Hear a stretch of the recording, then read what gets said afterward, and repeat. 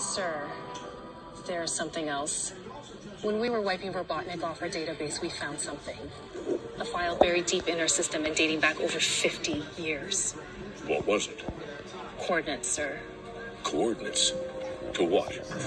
A secret research facility. It was a black site, sir. Someone worked very hard to keep this hidden. My God. Project Shadow.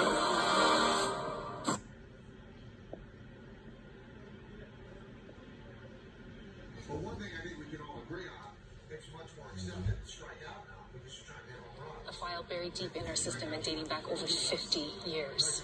What was it? Coordinates, sir. Coordinates? To what? A secret research facility. It was a black site, sir. Someone worked very hard to keep this hidden.